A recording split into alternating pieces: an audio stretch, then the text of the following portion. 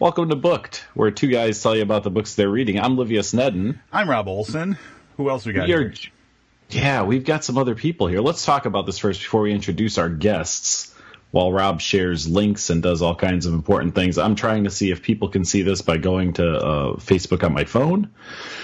But essentially, it is, uh, it is a holiday episode. You may ask yourself, what holiday is on June 2nd? And quite honestly, there isn't a holiday on June 2nd.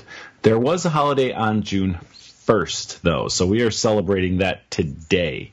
Uh, before we get into that, we are, I don't know how you're seeing this because I still can't seem to pull this up on my phone. Oh, it's going.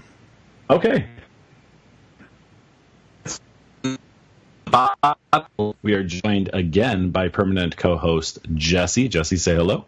Hello.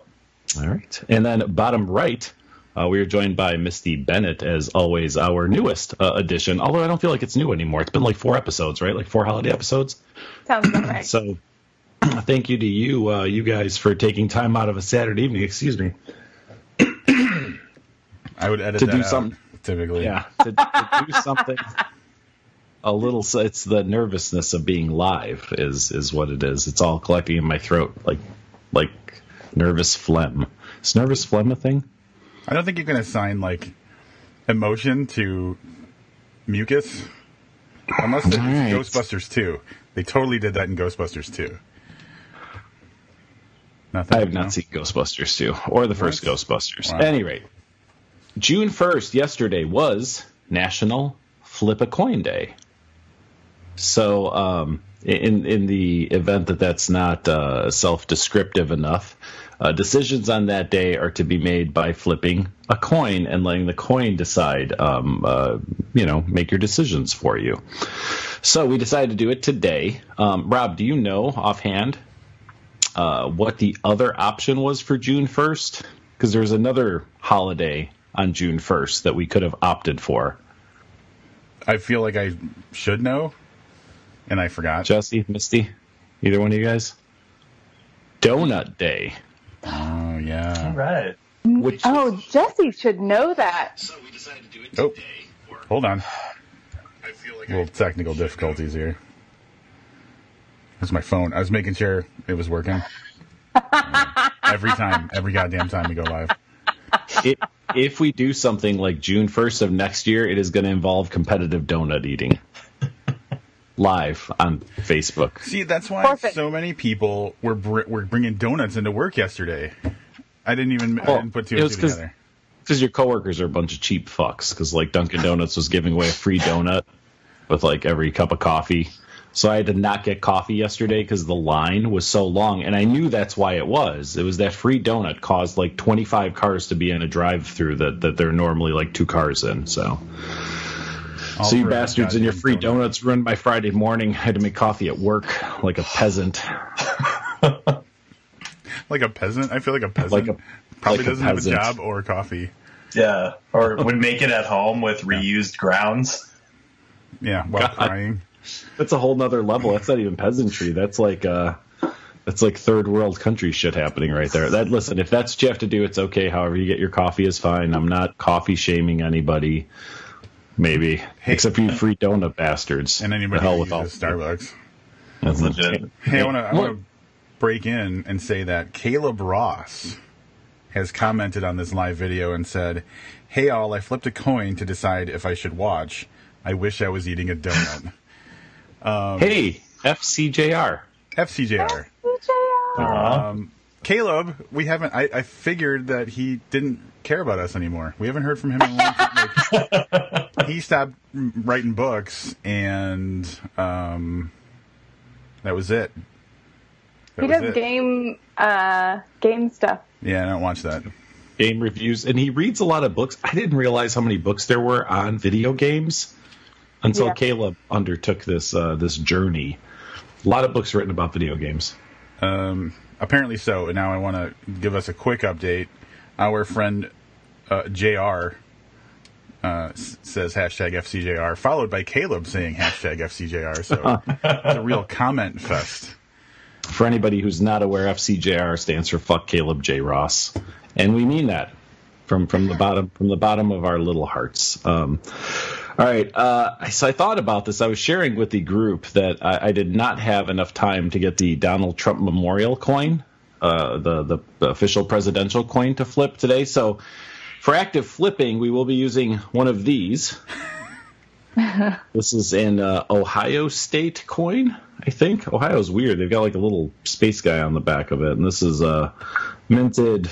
I don't know when because my eyesight's terrible now, and I have to wear glasses, but I don't like doing it. In 2000 something. Wow. Instead, for the visually handicapped, I do have this. So you, you're talking about yourself. Well, you know, I thought this is going to be a brilliant idea because I could flip it for things that I almost unflippable. Is it for the visually handicapped, or is it just because it's easier for you to catch? No, the cat. oh, I guess that's that's true too. The nice thing about this, I don't know if you guys can see that in the bottom. This was, uh, I don't believe, that was actually minted in 1972, but that is the the year of our Livius, 1972, my birth year. So Wow, you really are old. yeah, yeah, yeah, I know. I'm I'm aware. So, uh, Yeah. Rob, tell us a little bit about the history of the coin flip. I will in one second. I want to shout out a couple of people who have made comments. Sean Zilla says, uh, so I tuned in for once. You guys don't even talk about books. Obviously, a bunch of peasants. Hey, Sean. It's been forever since Sean is is a longtime friend of mine, and um, all I know is that I introduced him to two books: Raw Shark Texts and uh, Dermaphoria by Craig Clevenger, and he fell in love with them. So uh, yeah. So now we talked about books. We can move on. Christina Elgin. Oh my God, y'all look nothing like you look in my head. This is my first live watch. Love booked. Thank you, Christina. Very nice. Very nice. So, what what was I supposed to do? I wasn't paying attention. Tell people about the history of the coin flip Yeah, of the coin flip or this holiday. or this holiday. Both. Don't, why don't we do both? So the coin flip holiday. Here's the thing. There's like all these websites out there you can go to, and it's like, hey, here's every holiday that happens every every day, and um, so then you get all these nonsense holidays like you know, national you know reinflate the air in your tires day and stuff like that. And so there's all these holidays, but there's really not a lot of like, there's not like someone out there that's like the keeper of Flip a Coin Day. So there's not a lot of information that you can get about this holiday. Um, so here's what I got. It's a day when all decisions can be made at the flip of a coin. The origin of the holiday is not known, but coin flipping itself dates back to Julius Caesar, who is said to have flipped a coin when the right choice was unclear.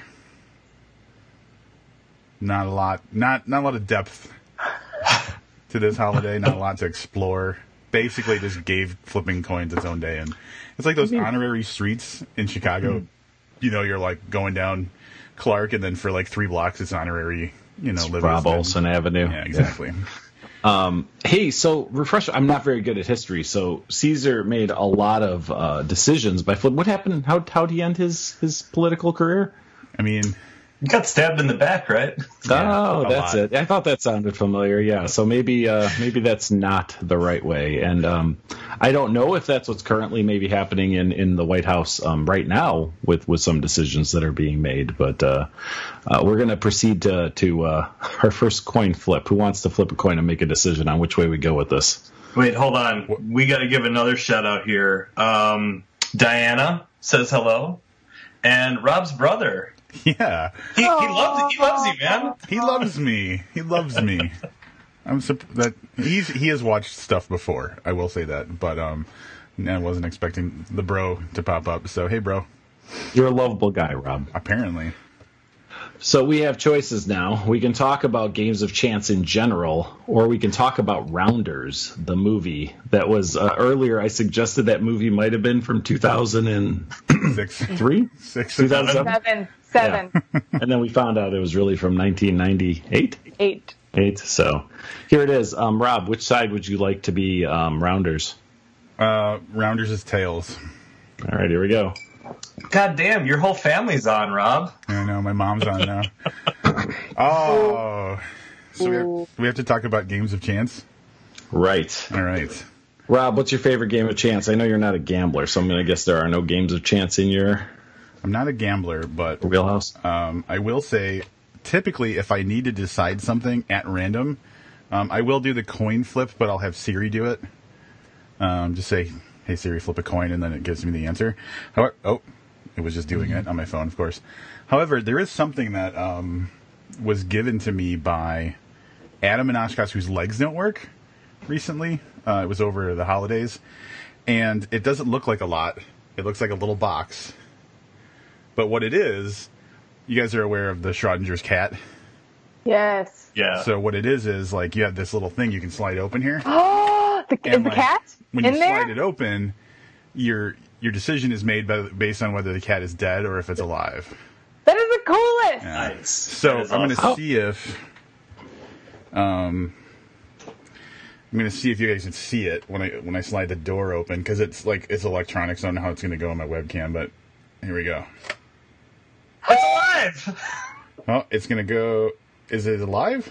It's alive. It is. Yeah. Mm-hmm. And then if I do it oh, again, see how it kind of flips between the two possibilities. Yes. It's dead. Yeah. So thanks, Adam. I have this nice little, really. It's easy to carry with you anywhere, See if it's right in your back pocket.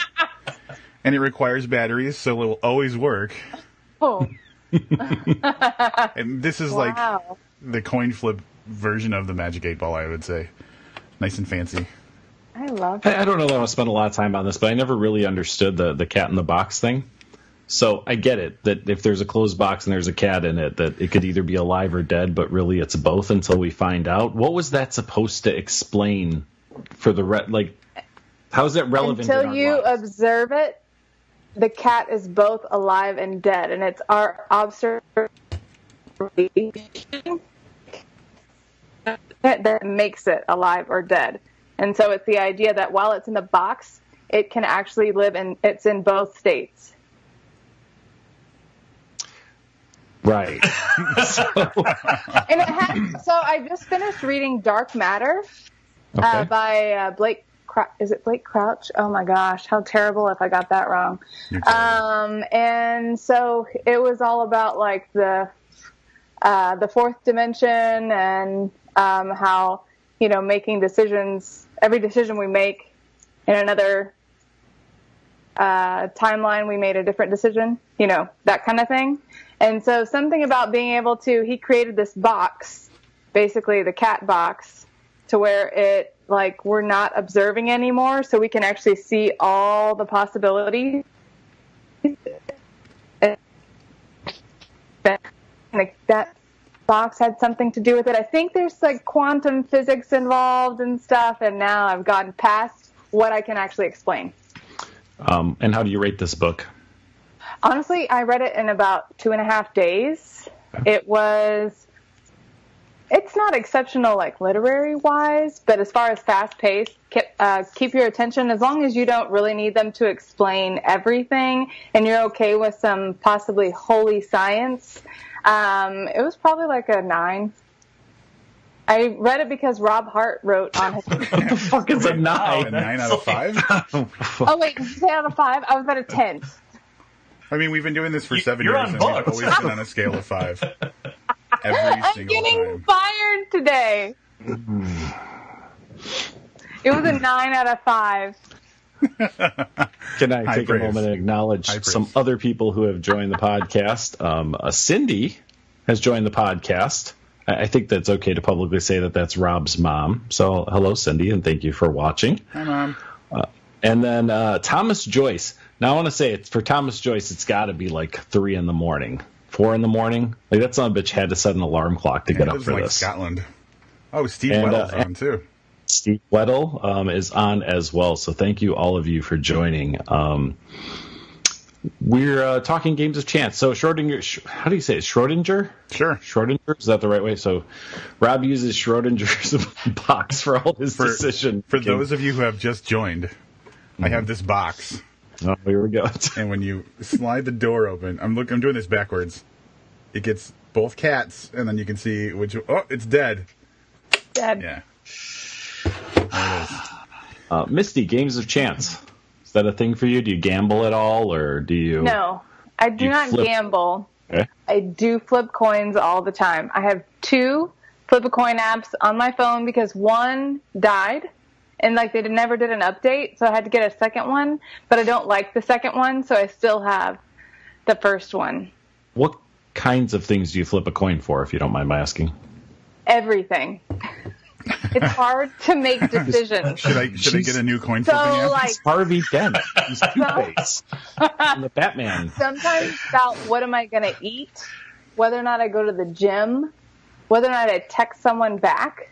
Is this why you haven't updated your phone in like five years? yeah, she kept Whether or losing not I buy something, Whether or not I update my phone. Yeah. what movie or show I watch, what I read next, uh, literally endless. wow.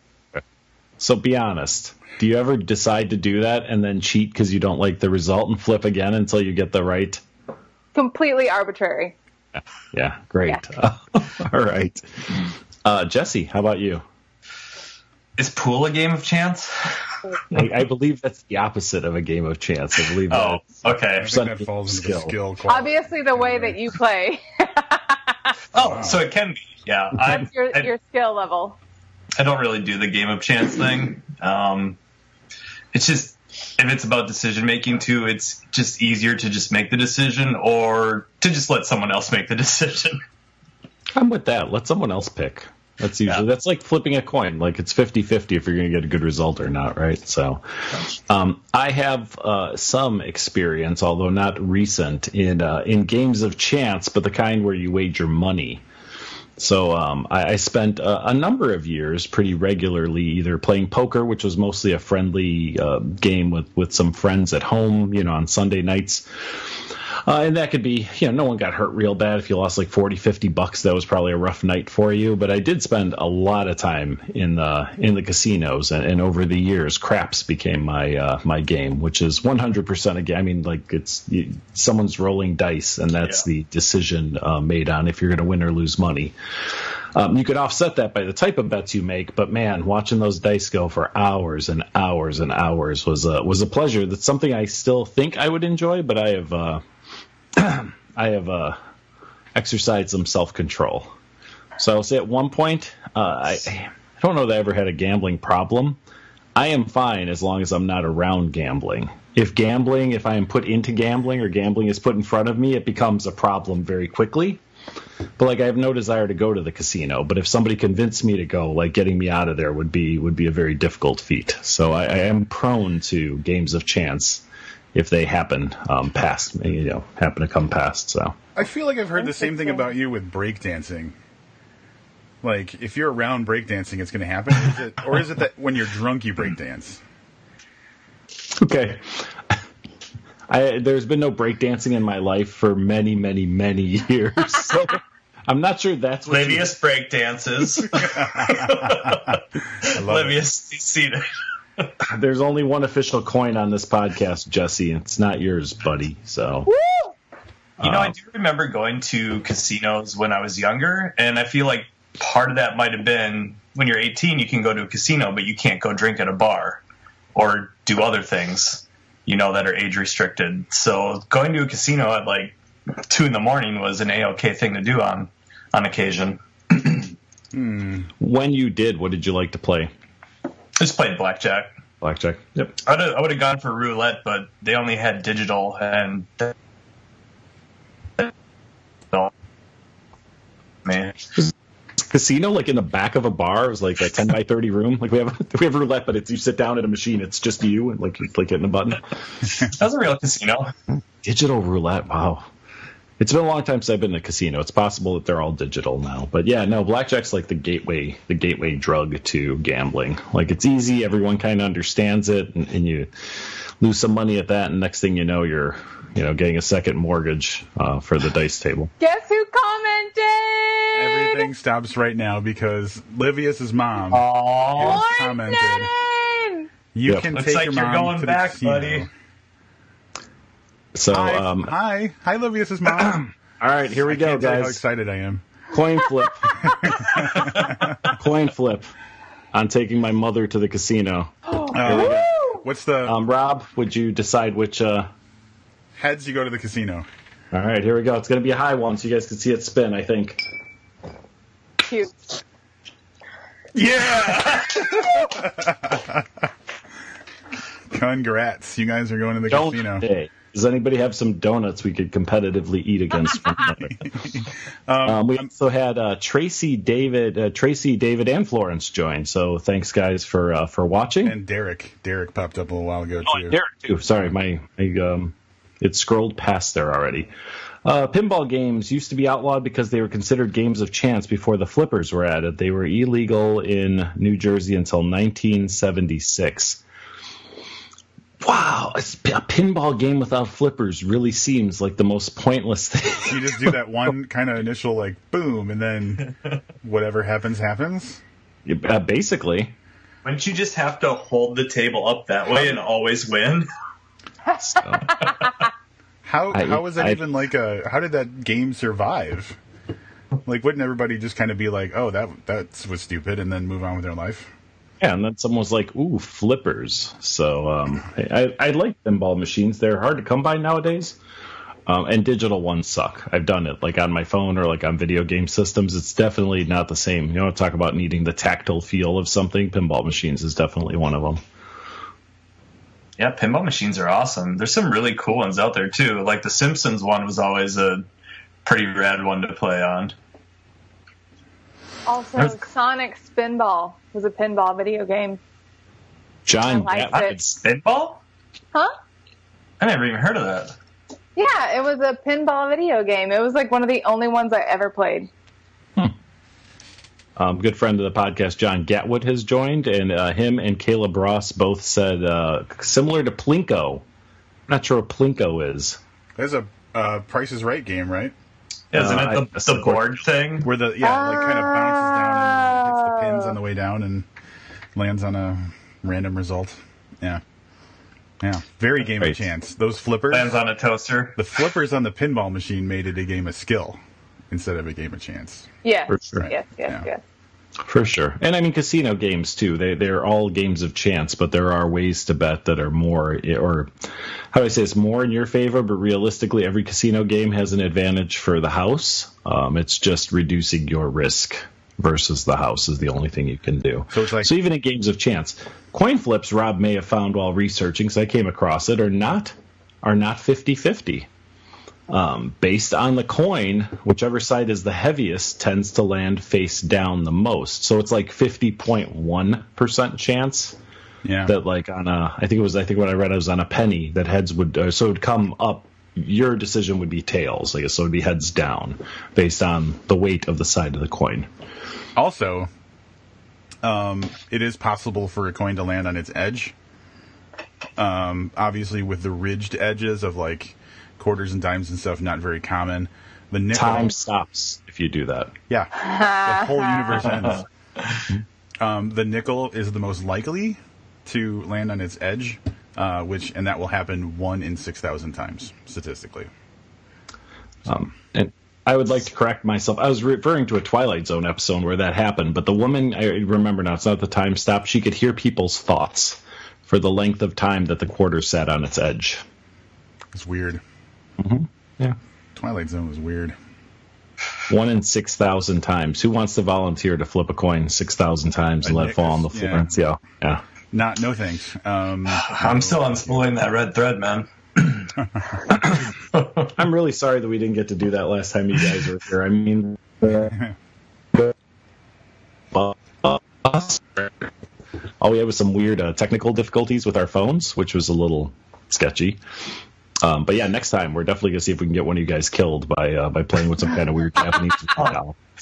Can't wait. Let me yeah. let me write that in my calendar right now. just shove me in an elevator.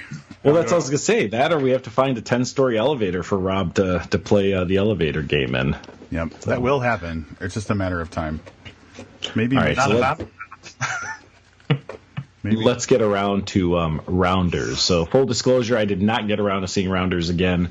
Um, but the three of uh, the three uh, my co-hosts here, and I'm, the way I'm looking at the screen, all three of you are above me. I'm at the bottom, but I realize that it's kind of like this for everybody that's watching. Everyone's like this for me, so Mm-hmm. that's why my eyes move.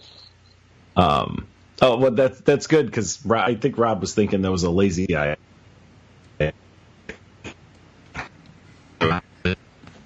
Here. Right, Rob. Wait, lazy eyes? I, I, my, my connection went a little bad. Say that again. Yeah, I was saying that Rob was thinking that was lazy eye what Misty was doing, not that she was looking at the four of or the whatever three of us on the screen. Lazy eyes are one of the most attractive things. So take That's it, what I was looking take for. it as a compliment, Misty. Did you guys not know that? Rob, Rob Not can't too walk much, but like the lazy a eye. minor lazy eye. What's up?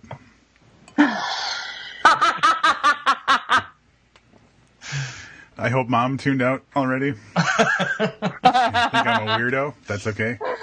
Um, That's okay. Great. So who wants to kick it off? Rob, Rounders. Do you need me to give you the? I can give you. Let me do this. Here's the synopsis for Rounders in the event that you've not seen. Wait, wait, hold on. First, who wants to kick it off? Second, Rob, you're going to kick it off. Third, no, I'm just going to go. That's for it. right. He was flipping coins in his head like crazy. Yeah, like was going like crazy. Yeah. a uh, young reformed gambler must return to playing big stakes poker to help a friend pay off loan sharks while balancing his friendship with his girl, or I'm sorry, his relationship with his girlfriend and his commitments to law school. That is a terrible synopsis for a great. It's Yeah. here. It's succinct. It's it's it's telling you the whole story you don't care about is really what's going on, right? That's yeah. That's Essentially. the story. Rounders to me, and I was just I think Jesse and I, or maybe it was Jesse and Missy and I were talking about this recently. Um, it's like three or four scenes, right? That's really what this movie is. Um, it's uh, it's the it's the opening scene where he loses, and he like where he loses everything.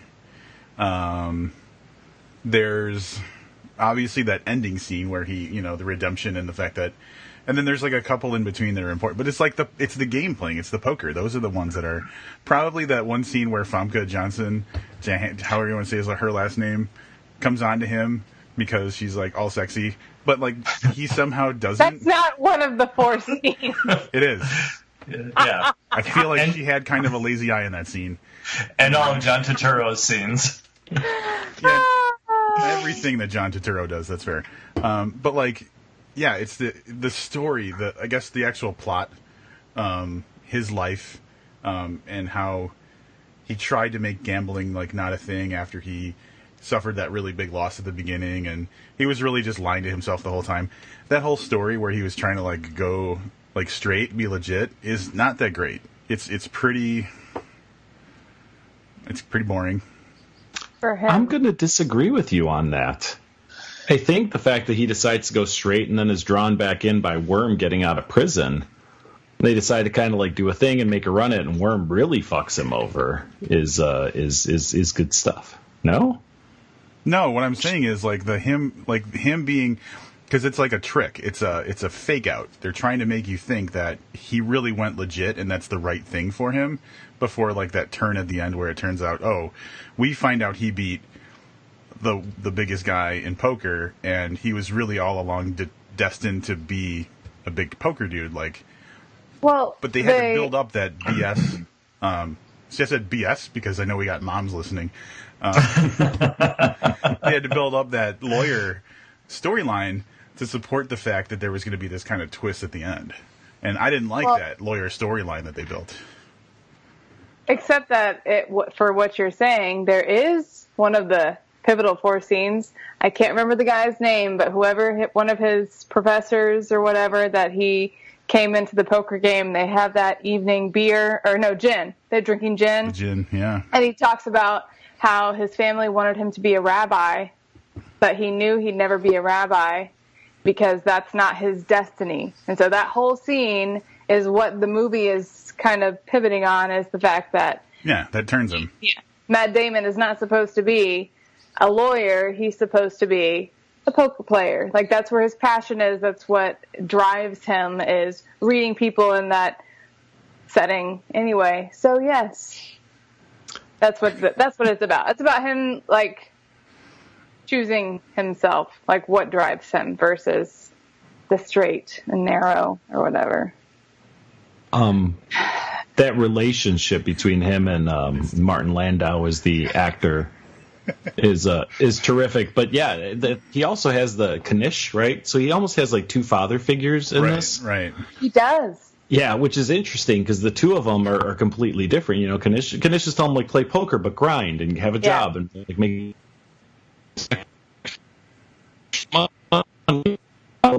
reasonable guy, the non-gambler, is like, nah, fuck law school. Like, go ahead and play poker. And the other guy is trying to keep. But I think that that speaks volumes. So that cast, like Malkovich and, and Landau and um and what's the guy's name um that played Knish? John, John Turturro. Turturro. John Turturro. Um, just What's some of the best, name? like you know, whatever extras. I don't know, they're not extras, but whatever they are, the the you know, like side characters in a movie. uh, It, at least I think supporting cast. I guess some of the best supporting cast in movies. Can we can we talk about something that bothers me about this movie? And it didn't Sure. bother me. It, Is it the Edward love Norton? interest? It's the Is love it Worm? interest, isn't it? Is it Worm? it's oh, not Worm, her and it's not the love interest. It's something Ah, entirely different. I didn't get that. At no point is she. Did I like her? Yeah, and I did. I was like, who the fuck cares if she moved out? Well, that's I think that's one of the In the things. poker game like, of life. Women are the rake.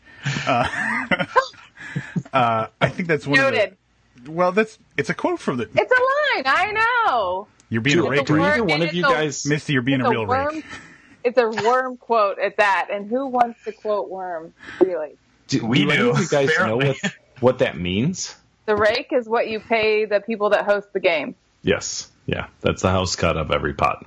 The house. Thank you. Yeah. That's Yeah.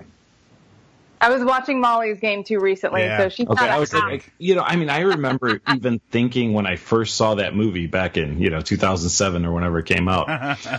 then when he put that line off, I was like, I don't think non-gamblers will understand what that means. Like They the won't. average person is not going to get. They're going to be like, oh, that's he said something about a rake, like, you know. But Um, There's a lot of they do throw out some poker stuff in there too, though that people won't know, like river and flop and stuff like that. So um, I think they do that on purpose to make you work for it. So people that actually care about the movie are going to try and find out what did that mean.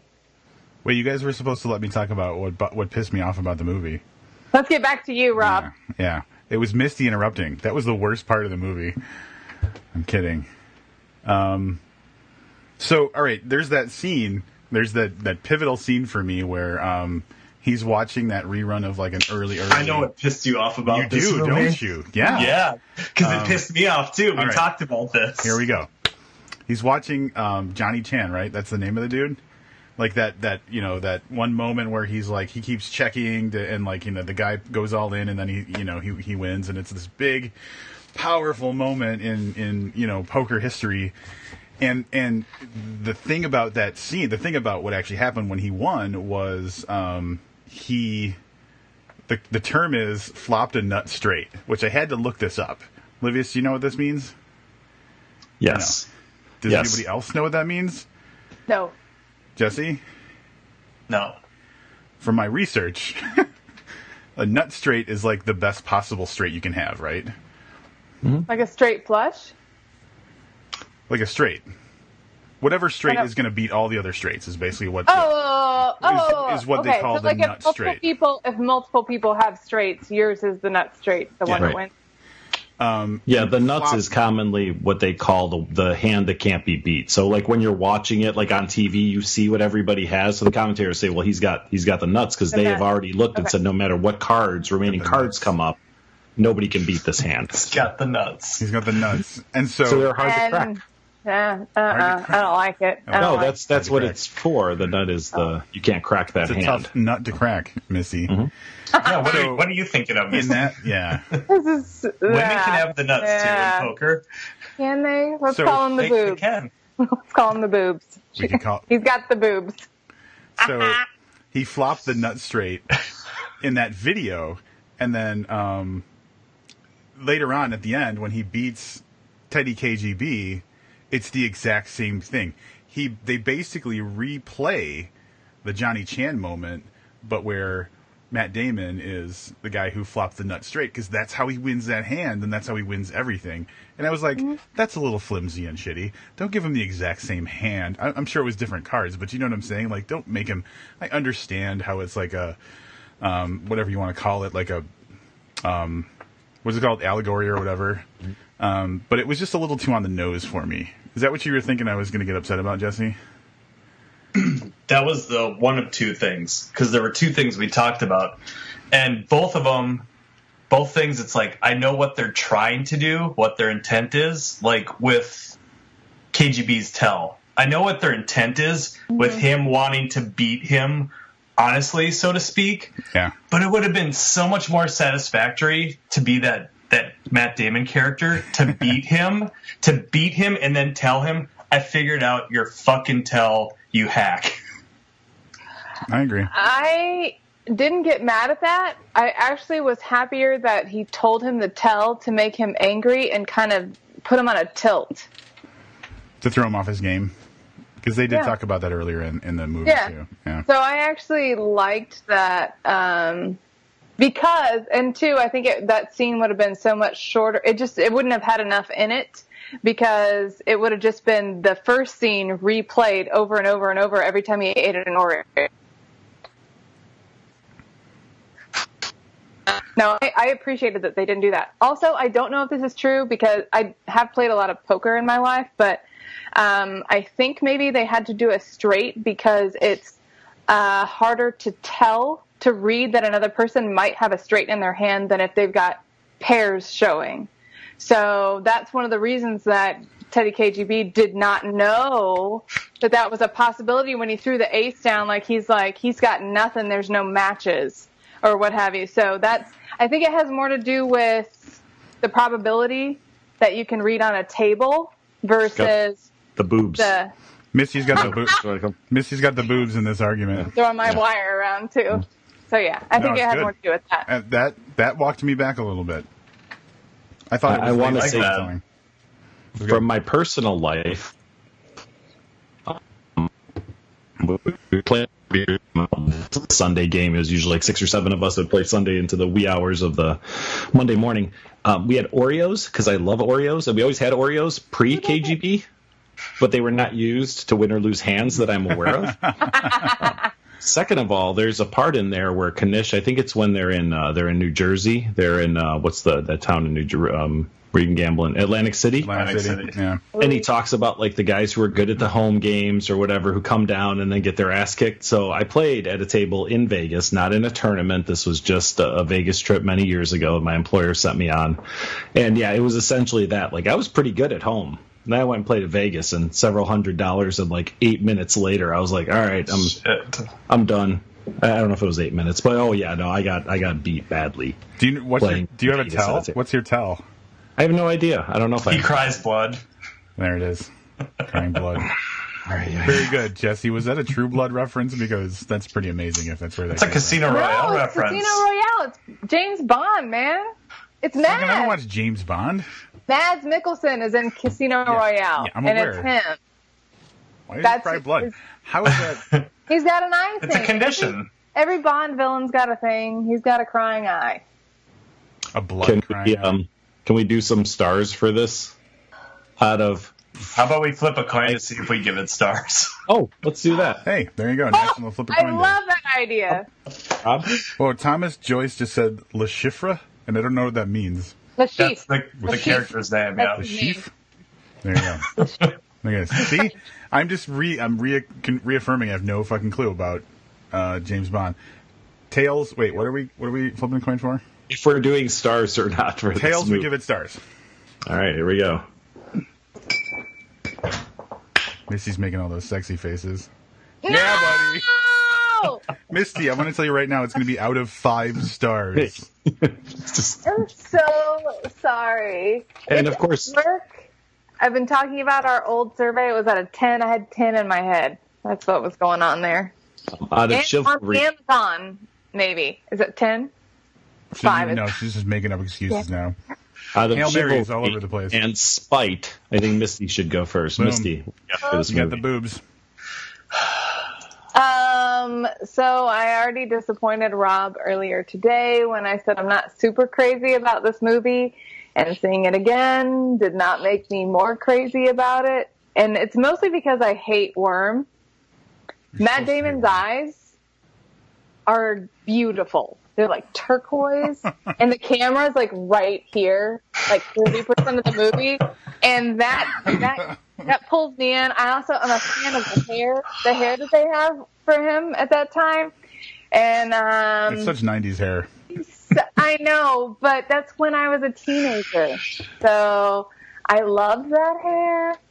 And um, I like John Malkovich. He's a little over the top, but uh, This is the weirdest also- review. he's has nothing to do with the movie.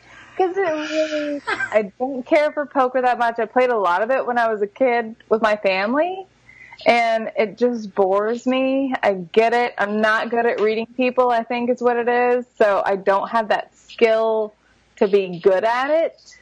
And so for me, it's about luck. And uh, yeah, I'm going to uh, just cut to the chase. I'm going to give it three stars. And I'm giving it more because we discussed it. I was going to give it two when I thought about it last night. But um, then the more we've mentioned the lazy discussed eye. about, yeah, I'll, anyway, three. And I'll probably never watch it again unless someone makes me. It's the best I, movie uh. I want to flip a coin to see if I want to look up what cut to the chase means and explain it to Misty. Wow. So heads, I'm going to look up cut to the chase definition. Tails, I'm not. Uh, Tails. You got lucky, Misty. Misty's review or her wrap up or whatever that was made me want to see if anybody else was on Facebook Live that I could watch for a little while. Oh It my god. Wow. this right, is why I'm they love you, Misty. I'm brushing my beard on Facebook Live. That is a thing that's happening. Rob told me earlier I don't have to be nice to our guests. Um, I, I don't Jesse, remember that. Jesse, do you do you want to maybe take a shot at at that? Yeah, I'll, I'll, I'll give it a go. Um, I saw this in the theater when it came out. I remember very clearly. Like I was very excited about seeing this when it came out. This was back when you know that was just an asshole and not a rapist. So cinema was pretty exciting back then. But I feel like it was better the first time I saw it than now. Maybe I just wasn't as aware of the flaws as much, but it still holds up pretty good. So I'd say four stars. It does hold up. I'll give you that. Like you could tell someone to watch it today and that had never seen it and yeah. I mean, look at the cast. I mean, Landau, Turturro, Janssen, Damon, Malkovich. It's probably one of John Turturro's top five Ed- roles Edward too. Norton. Do we, we want to avoid? Is he in anything now? You know, other than Fight Club, I don't know that I really care for Ed Norton. Whoa. Primal Fear, Yeah. man. Primal Fear. 1997. I'm pretty sure. Hold on. Maybe I'll, I'll give you Primal Fear. Um, Rob, I have to take a note about another segment that we're doing because I just had a great idea. Um, you want to? Is it about Edward Norton? Yes, we're gonna do an Edward Oh. Norton's birthday episode. Oh, Um, Jesse, that was Rob, an Ed no no no. oh! I see what you did there. Yeah. Oh my god. All right, so no one's going to recognize the person who just um and this is not a slight against that person, but just nobody knows him. Noah, a friend of ours, Noah, um just gave me a wavy hand on uh on our Facebook live. He is a guy I went to high school with, uh, whom I haven't probably seen in several years, but um yeah, Noah was like a big, you know, big part of my friend group when I was like, you know, in my teens. So what up, was, Noah? he, was he a, was he a Denny's person? No, he wasn't that. He wasn't that. He was too cool for for like my the people that I went to like Denny's with. All right, So, so the, yeah. so that, that was like you and John and Adam whose legs don't work. Is that like the extent yeah, of that? yeah, but that no, crowd? it was all those guys. He was just too All right. cool for us. So anyway, uh, am I supposed to do? Am I supposed to do a thing? Am I supposed to? Do a Yep, throw some stars, bro. All right.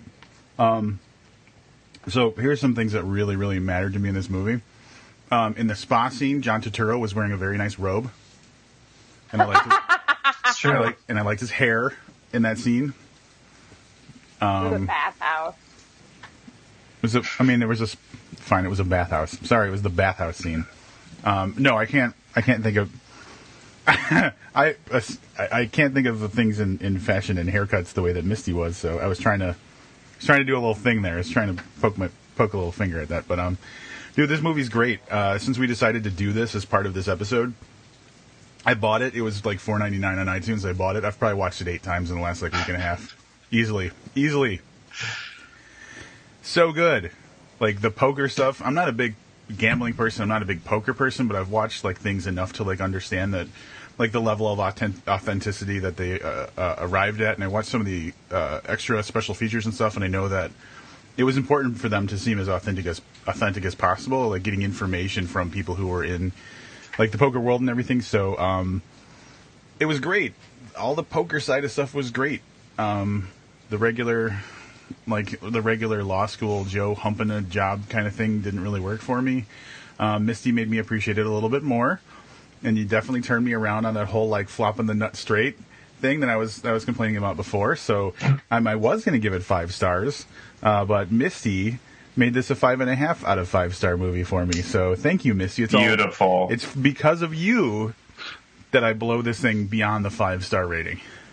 Garbage. You just reminded me of something too, talking about how they wanted all the poker stuff to be authentic and shit. And I could be talking on my ass because I've never been to like a poker club or a secret room or whatever those places are that they were all playing in. But I took I just take it as way too easy, lazy writing. The fact that she would even pay him out the two thousand that the house extended him instead of keeping it. No way would that ever fucking happen. Dude, the money they make on the interest on that, the the whatever, The Vig. yeah, the vig. And I, I think it's because Matt Damon, it's basically against him. It's not, she wouldn't have given it to vouching, Worm. It's because he vouched. And so she knows, which is why she ended up at his apartment. It wasn't that he had a debt. That's Worm not why a ended debt. up at his apartment. Yeah, she wanted to fuck Matt Damon, and basically what happens It is was those eyes. that she'll throw two thousand dollars to your scummy friend if she if that's what she thinks it's going to take. I don't She know. got there too. That little desperate they kiss, and she's like, "I could stay," and he's like pushing her away. She, she was close. Hey, baby. We'll see you later. Rob's like, I got a couch. She did not have the boobs in that situation. Um, Did he have the nuts though? he had the nuts. I don't um I don't watch as many movies as um my co-hosts do. Um, because I'm not just not a really big movie guy. So I, I don't it's weird for me because the more I thought about this movie, I was like, you know, I don't think it's a five star movie. But I like so few movies that I feel the way I do about this one. Like that I think that makes it a five star movie. So um, here's what I've got. I think the poker stuff was great. I think the acting in most of it was great. I even like that his girlfriend is not likable. Like I like the fact that they made her unlikable. Because- like, "What?" like you know, and he's like, "Fuck it, whatever. I'm going to go play poker in, in Vegas." So the supporting cast was uh, Sorry. supporting cast was great. Sporting relationships were great. Um, I, yeah, I guess I have to go. I'm going to go five stars on this one. For years, they've been trying to make Rounders two, and I think Oh, the man. challenge is, is that the vast majority of poker just happens online now. Yeah. So it'd probably be a little more boring to to really do a realistic poker movie where it's just Matt Damon sitting at a computer clicking shit. I don't know. Did you see that horror movie that was that all took place on a web forum? Unfriended. Yeah, it was great. I loved. he that. loved movie. it. Yeah. I absolutely loved it. I thought it was fascinating how they how they did that. And yes, I do binge Korean soap operas occasionally. Occasionally, Um, uh, sometimes it's not all the time. Sometimes it's Japanese anime, which is not the same thing. a different Asian country. Yes. Hey guys, can you hear? Is there rain coming from my my side of things? Huh. You can't hear rain from me. Mm-mm. Okay, No. good because it's pouring outside. That rain was here a little while ago, Rob. Oh, it made the trip. It made the trip. Gotcha. Livius and I. That all right. That makes me think. I was just looking at this a minute ago, and it may just be the lighting, but it looks like Misty and Livius and I have the exact same like walls, and Jesse has darker walls. That's what I see on my thing. What we're in, uh, Livius and I are in Illinois. For people who don't know, Livius and I are in Illinois. Jesse is up in Minnesota. Misty, for some reason, Texas. It's probably not her choice. I know, and I, I definitely do Oh, not you were hear born in Texas. air It wasn't your conditioner coming from Misty's place. Misty won't put the AC on until it's like 108 outside. Um, all right, so our next Our- thing. Until she has company from up north. yeah. They I sneak around and change the thermostat when she's not looking. That's right. What you got, Livius? What are we flipping a coin about? Well, you know, I uh, you had mentioned something to me earlier, and we were talking about throwback episodes and how we would pick one. Um, so each one of us come up with a throwback book, and then we would flip a coin on which one we'll review sometime, probably I'm guessing in July, because I think we're pretty full for June already.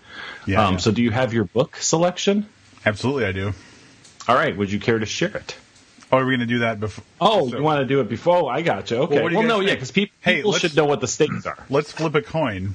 We reveal our titles before or after the coin flip.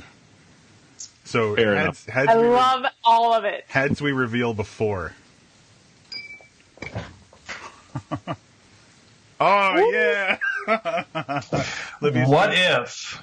What if you don't know whether to flip a coin or not in a situation? You flip a coin. you were leading us in that direction, right? Of course. All right. All right. So, Rob, again, because I'm flipping, I'll let you call what the decision is. So, give us a um, you or me, which whose book gets to be done. Heads it's Livius. Tails it's me. All right. Fuck you, goddamn. I was initially going I to want to read another Richard Laymon book.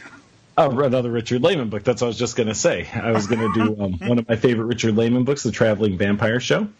Um, but instead, while we were talking, I remembered how much I loved before I saw the movie Primal Fear, William Diehl's book Primal Fear. That was the Oh, note I yeah. had make. I was going to have to write down Primal Fear and remember that's my book. So, uh, Primal Fear by William Diehl coming up in July, maybe August, but uh, that'll be um, our throwback review probably for the year. We do like one a year, right? So that'll probably be the, the throwback for this year. Well, that will be the throwback. I just don't know if it's just the only one for the year. So there we go. I have Do you want another subject I wanted to bring up. No? Oh yeah, Yeah, I You want to know what what book it? lost? yes. Now I could say anything. Um, but um, no, it was uh, Sirens of Titan by Kurt Vonnegut. We'll keep that in mind in case there's another coin flip. Total the other thing. I wanted to do for this episode It's a great book. was to come up with some way if we talked about let's not do it maybe we'll talk about it anyway i came across an article that and, and i don't remember how i even got to this but essentially i was surprised by the um, the statement made in that article so i decided to look up the highest grossing authors of all time so i'm asking you guys not to not to hit your keyboards not to look i'm going to pass it around a little bit and see if any of you can come up with one of the top we'll say we'll go five. One of the top five best-selling authors of all time. I can guarantee you that between the three of you, without cheating, there's no chance of you getting all five of these. Hey, before we do So, this, when we'll, can we uh, when can we work in uh, a little drink refresh? You know what? We can do that now if you'd we do like. that now? Can we do that now? Does anybody else Should we flip for it? We can flip for All it. right, Jesse, what's it going to be? Don't screw me on this, Jesse. Tails. Tails is a drink refresh. Yeah. It's Tails. Yeah. Rob is going to refresh his drink. Misty is going to refresh her. No. Yep. Okay. I thought we Jesse all were. and I- Is that not what's happening? Jesse's also going to refresh. I don't care what any of you guys do. Wait you guys to, to, to come back. So, all right, let's see what's. Uh, I got out of Facebook, so let's see what's happening over there. Uh, Thomas Joyce still hanging in there, circa 2:30 a.m. Speaking of drink refresh, Rob and Jesse, when's the? Oh, what happened there? An unknown error happened and kicked me out. Uh, next time you guys are going to be hanging together. Uh, I'm going to let them answer that. I don't know that there's anything planned in the near future, though. I usually, uh, I usually do uh, hear about these things in advance. Sorry, my Facebook keeps uh, my Facebook app keeps closing. That's not cool. So, um, yeah, I don't know if you guys are googling, but there's no chance. I'm on the Wikipedia page for uh, list of best-selling fiction authors, and I was shocked at, um, well, at least at the top three. round two, maybe not in the top ten, or not in the top five, but I would have guessed top ten. Jesse, my Facebook app keeps crashing on my phone, but JR wants to know when the next time you and Rob will be in the same place if you have something scheduled. Um, potentially later this year, but nothing confirmed yet. Yeah. Hopefully.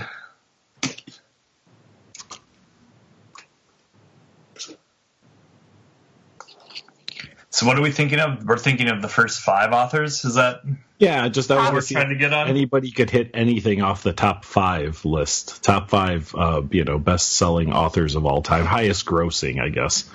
The article I'm looking at says list of best-selling fiction authors, but they're doing it by um, estimated sales. Okay. There's a hat refresh for me too. I don't know if you guys noticed. It's a goddamn wardrobe oh. change in the middle of I did the. see that. Yeah. I just got three new hats. I got to fucking wear them in. So choice number two for tonight is Salt. got some Sump by Perennial. Yeah. It's a coffee stout for anybody who's not aware. And this bottle is the size of a wine bottle, so everybody just strap in. Hell um, yes. JR was inquiring about the next time you and Jesse will be in the same place, and Diana says she has Beechwood beer for you guys. Ooh, if it's at Tovarish, bring me the Tovarish in cans. I'm sweating about that. It's good stuff. Cognac barrel aged. I'm gonna flip this coin and see if we make Misty go first on the best-selling author guesses. Uh, heads, she goes first. Tails, Jesse does. Got a heads. Can I get a clarifying question in before we start Sure. this? So you said top grossing of all time. So this is adjusted for inflation, right? Yeah, I've got nothing. Here's what it is. It's based on the estimated total sales. Okay. Um, yeah, I don't have more information than that. It is uh, they do have a minimum estimated and a max estimated sales, and the ranking is done by the minimum. Although both are essentially the same for those for those writers. So, but yeah, I was really really surprised because this list did not play out um, like I thought it would. oh, I'm sorry. One more question. Are we talking fiction writers? Yes, Thank you. yes, fiction writers. All right, I'm gonna just go for the ob- what I think is the obvious. Sure. Stephen King. Incorrect, and not only incorrect, but probably like twentieth on the list. Uh, What? See, this is what I'm saying. Like that would have been one of my guesses for a top five. Jesse, what do you think? Danielle Steel.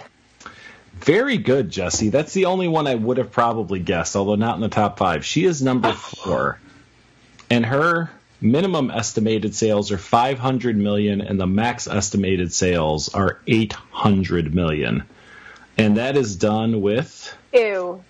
120 books in print. 120 books. I don't books. like it. That's a really like good it. run. Yeah, I she's like having an it. allergic reaction to that. I don't like it. Uh, Rob, Um, well, I'll tell you who it's not. It's Chuck Palahniuk. it is not Chuck Oh, Palahniuk. As oh, a matter of fact, I don't think he makes this list at all. Too Why soon? would you do that? was that was that too soon? Oh. It was. J.K. Rowling. Is that a, an adjustment day on the numbers there? Chuck, Chuck, yeah, Chuck Paul. But interestingly enough, Chuck Palahniuk's accountant is listed as number 38. I didn't yeah. even know he was a writer. Hell yeah. Uh, J.K. Rowling. No. J.K. Rowling is close though, so she is.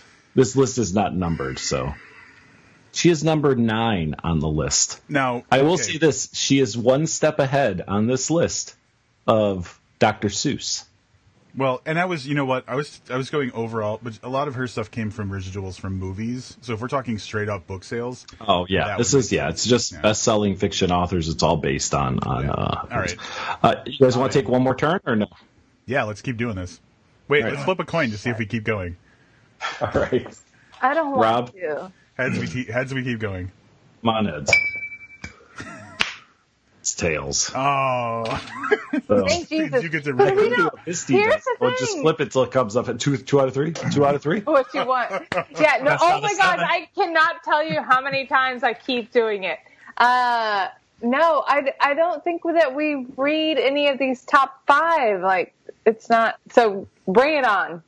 Go to the don't know. comments. Diana says L. Ron Hubbard. No. Interestingly enough, I don't remember seeing him on the list at all. And but the list has got to be hundred plus names. So I'm scrolling. What about Patterson? Obviously, that's got. Patterson is on the list, but again, significantly lower on the list than you would Than you would um, you would yeah. expect. So one of these, and I guess I'll start with number five. Harold Robbins is number five with an estimated seven hundred and fifty million dollars. Harold Robbins um, wrote novels from 19, well, he's born in nineteen sixteen, uh, died in nineteen ninety seven. Uh, 25 bestsellers selling over 750 million copies in 32 languages, and some of those novels are Never Love a Stranger, The Dream Nope. Merchants, Stone for Danny Fisher, 79 Park Avenue, The Carpetbaggers, blah, blah, blah. Nope. So, Nope. So it's like. A- a- Agatha Christie. Yep. Estimated between I- two that- and four billion dollars. I win. Billion dollars. I win. What do I- 85 books. win though. I did it. 85 books for her. And you know, some of this though though holds true for for uh, a few of the people on this list as I was looking at them. You know, less people buy books today, and since Stephen King has been writing, you know, I'm thinking in the Agatha Christie day, you'd go into everybody's house and they had a couple Agatha Christie sitting on their shelf because they didn't have fucking television. Oh yeah, everyone read back then. Like, Oh, for what sure. about Mark Twain? Is he on that list? He is not on. Uh, he is not at near the top of this list. No, I'm but weirdly, sure- Samuel Clemens is. Oh, Oh, woo! It was a Mark Who? Twain joke. Just Oh, that's never mind. I got you, buddy. Real name. it was real. Shakespeare. William Shakespeare was number two Fuck. after Agatha Christie. also Jesse. estimated between two and four billion dollars, and they're quoting it on 42 books. I'm guessing 42 works in general. So, Yeah. So And then that's why I asked three- the um, inflation question because, like, I was like, is this going to be old ass authors or not? yeah. Number three is a lady named Barbara Cartland, um, who I had not heard of.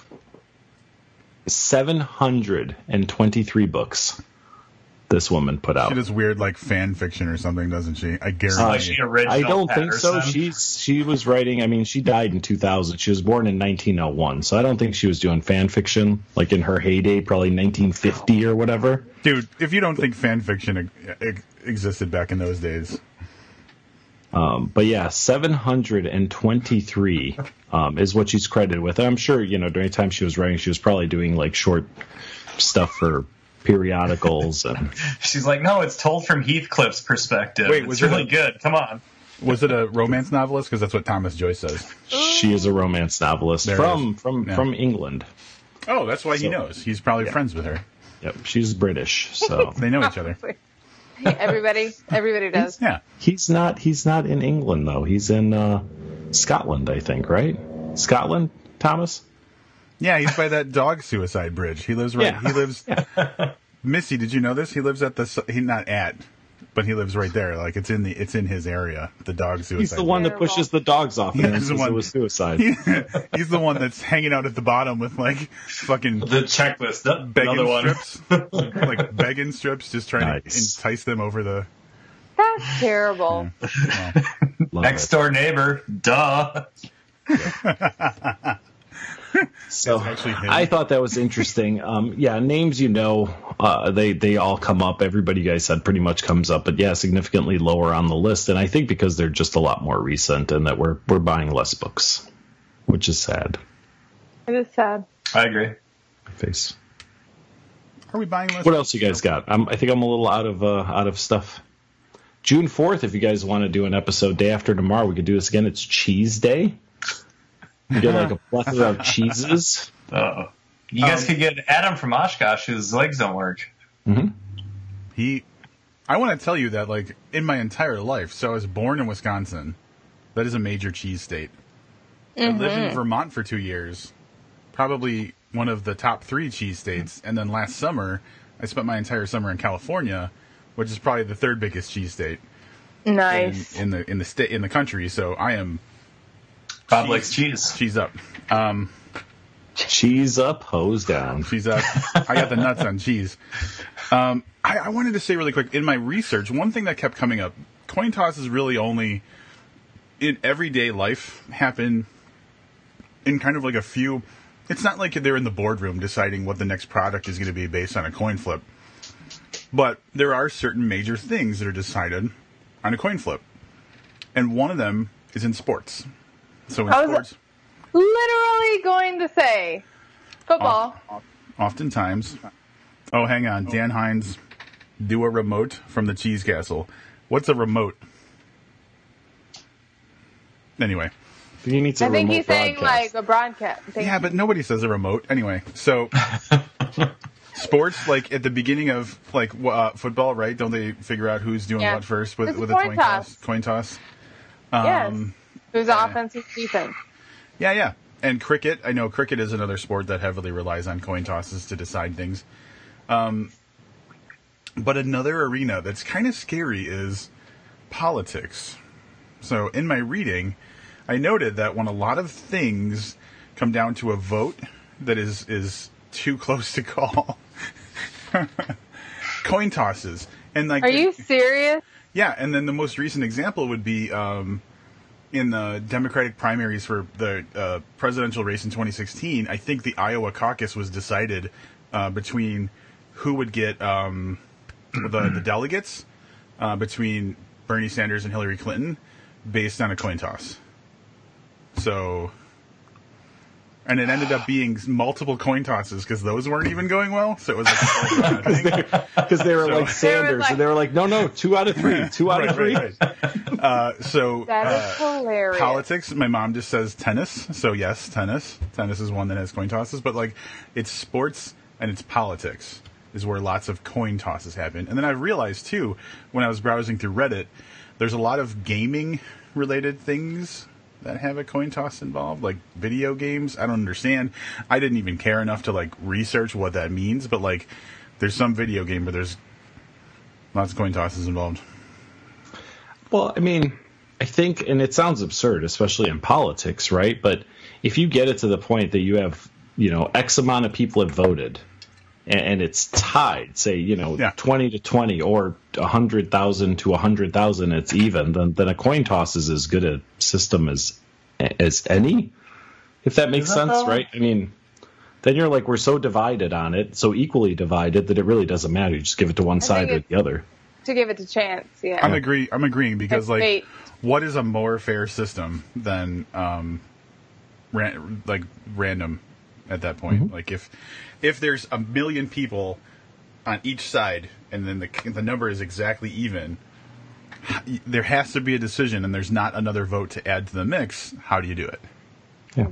But like, there's something inherently frightening about the fact that like, Well, so yeah. because like if you think about, it, you could back it up and be like, that entire thing, you could have said we're not doing a vote, we're just doing a, toy, a coin toss, and it would have had the exact same outcome. Mm-hmm. And that's really frightening, but it is what it is. There is, uh, and currently, I think that we have a pretty solid, you know, near half division in the country. The 2020 elections could be div- divided by a, decided by a coin toss. We'll see the about that. hyper. Talking about a career change here. Yeah, no, no, Livia's not for me. president. He he's the official coin tosser. One more thing in my research about co- tossing coins. Um, the city of Portland, Oregon was named on a coin toss. It was down to either Portland or Boston. No way. Those are the two possible names that that city was going to have. And on a coin toss, Portland won, and that's why it's Portland, Oregon. All right, I have to ask a question because again, I'm not real good with geography. Um, there's a Portland in another state, Maine. right? Maine, And there's a Boston in another state, right? Massachusetts. They just couldn't come up with another fucking name. They just loved Yeah. those two places enough that they were like, "Well, we'll call, we'll name it after either Portland, Maine, or Boston, Massachusetts." Like, I don't. But it kind of tracks. They're like, well, we're unoriginal already. We just can't decide which direction to be unoriginal. in. how it original, so we're gonna. It's no worse than Paris, Texas, right? Ah, rude. How did Paris, Texas, get its name? I mean, obviously, it's similarity to the seat of culture of France and arguably probably Europe. I've never been there. I don't know. Um, we're gonna flip a coin on if we look up how Paris got its name. Um, heads, we do. God damn it, heads. So that's, fuck, I really didn't want to do this, Yeah. but I'm going to look up. To the internet. to the internet while Livius is looking that up. Um, you guys have any other thoughts on on games of chance? I do. I guess it, it is worth um, pointing out because we talked about it at great length, but we never acknowledged the fact that um, the movie Rounders is entirely about poker, and it's almost entirely about specifically uh, Literally was going to ask if we were going to talk about poker. the no limit Texas Hold'em kind of thing, which arguably, and I think I don't even think it's arguable. It's pretty much like kind of commonly accepted that it's not a ch- game of chance; it's a skill game. Mm-hmm. Yeah, Correct. definitely. So, Yep. to my point, we all understood. For anybody who's watching, who's like, "Why are these assholes talking about coin flips?" and and then watching a movie about poker, we get it. There wasn't. Turns out. Turns out there wasn't an entire movie where Matt Damon is flipping coins, and so we had to oh, play the Not hand yet, that we there got. isn't. Are we sure there isn't a Sylvester Stallone movie though from the '80s that's all about coin flipping? Whoa, are you being serious? Because that would be amazing. I know he did over the I'm top. not serious. We could watch an arm wrestling. Is there an arm I wrestling day? knew Over the Top was coming up. I knew it. I was just waiting for it. Livius, we watch over the top. David James Yep. Keaton is a fifth holiday episode guest Oh for the my arm wrestling God. holiday. Let me tell you, that would just be a David James Keaton episode. Yeah, well, that would be great. We don't have to talk as much or think about what's. Yeah, I Yeah. love. So I can't find anything on the naming of Paris, Texas, so we'll go with Rob's explanation because it made the most sense. it's, it's glaring. It's so similar. Yeah. Jesse, earlier Do you have, like, today I was picture? watching Turbo Kid, which arguably oh. is Oh. also an arm wrestling movie. Yeah. Well, well, since I watched that one, I love that movie. Such a good movie. I don't think I've ever heard of Such a good movie. second one in the works. Rob, Okay, hold Jesse. on. I'm looking up the city of, of Paris, Next. Texas. next. Wait, hold um, on. Misty's got the secret, the secret Texan book out She's now. on. She's on Texas Nexus. It's like, hold uh-huh. on, let me log into the things only Okay, it- Texans okay. are allowed to know. Jesse, Like, you So it's me, right? named. It's named after. It's literally named after Paris for Paris. It has its own Eiffel Tower with a cowboy hat on top, and it stole its name just like apparently we have a Detroit. like you stole Mexico. Athens. A little less aggression.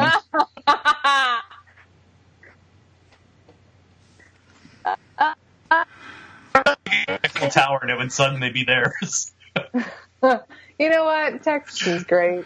so Jesse, did you catch my Texas Nexus reference? Did anybody get my Texas Nexus? I don't know what it means. LexisNexis is this like huge online database. I got Um, you. Okay. it's like it's like the I didn't think it even existed anymore, though. what is it a database of? It's like if you're like look it's just it's like an informa- it's an information database. So like if I was a lawyer or like a uh, like a like someone in the media or something like that, I would use that as a reference database for like information when I'm like researching something. So saying Texas Nexus is fucking hilarious. it's fucking hilarious. I, I agree. Precious. Like there's a database just about just about what's important about Texas. Texas. Come on. Oh, of course there would be. Oh my god.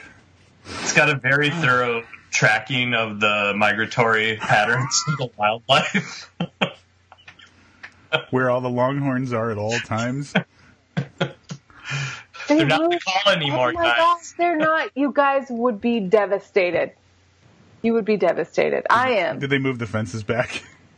No, they're building. They're putting an apartment up there where the Longhorns were when you guys were here. It's now an uh, it's an apartment building. They're building. It's terrible. Wait, They're I so, no longer live in nature. They're, they're building an apartment building. It's going to lean a little bit, and they're going to put a cowboy hat on top. oh, it's good. Oh, John got my reference. Thank you, John. Thanks, John. Um, Um, so before, and, and I'm not really ready for us to wrap up, but we do need to start thinking about the next holiday. And, and the next holiday, we're going to look for some suggestions, and we're going to use the Almighty. Well, isn't the Fourth of July like just a month away? Well, how much Are we more can we talk about the flag? Oh, Are we doing the Fourth of July?